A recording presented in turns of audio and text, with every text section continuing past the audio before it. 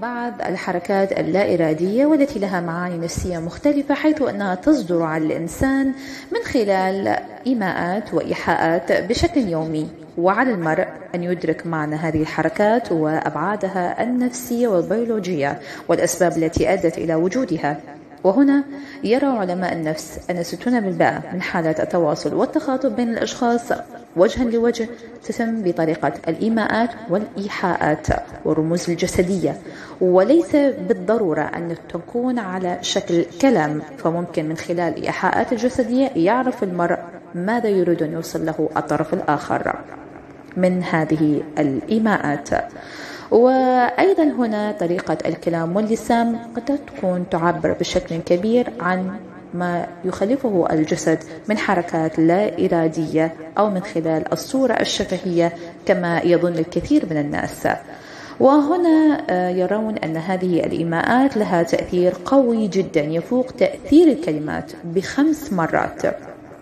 من خلال الأخطاء الكبيرة التي يقع فيها معظم الناس أنهم يتجاهلون حركات الجسد ولغته ومدلولاته ويركزون على فهم ما يتحدثه المرء أمامهم. قد يكون كاذب قد يكون صادق قد يكون غير واثق بنفسه. جاهدين أنفسهم في قراءة الأفكار وتحليل الكلمات التي قيلت أمامهم. ومن خلال هذه الإيهامات والإيحاءات الجسدية التي يمكن أن توصل رسالة معينة لدى المقابل. ومن خلال هذه الإيحاءات يظهر الإنسان على ما يخفيه وما يخفيه من أفكار داخلية عن طريق ظهور بعض الحركات الجسدية. وطبعا هذه الإيماءات أو الحركات اللا إرادية تصدر عن الشخص من خلال عدم سيطرته على نفسه من هذه الحركات.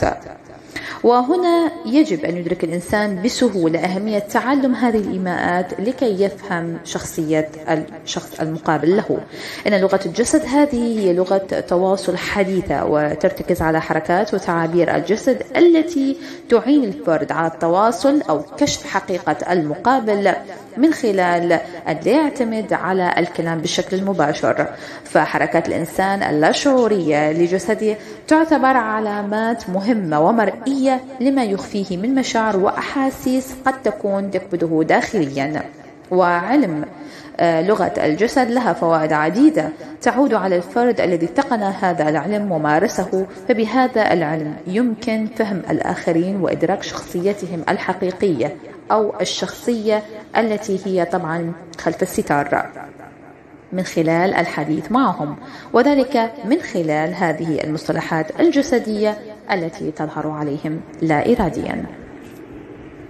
وهنا متابعينا. قد انتهت حلقتنا لهذا اليوم. نرجو أن يكون هذا الموضوع قد لاقى استحسانكم ونرجو أن نكون قد وفقنا بتقديم هذه الحلقة. وكذلك نرجو أن نكون أيضا قد وفقنا بتوصيل رسالة علم النفس وعن الحركات اللاشعورية للبشر من خلال الاهتمام بهذا الموضوع بشكل دقيق. لمتابعة تواصلنا مع أفراد مجتمعنا وفهم مدرياتهم ومدركاتكم وخلجاتهم. متابعينا بهذا نكون قد انتهت حلقتنا لهذا اليوم. نلتقيكم بإذن الله تعالى في حلقات ثقافية وتقارير جديدة. انتظرونا إلى اللقاء.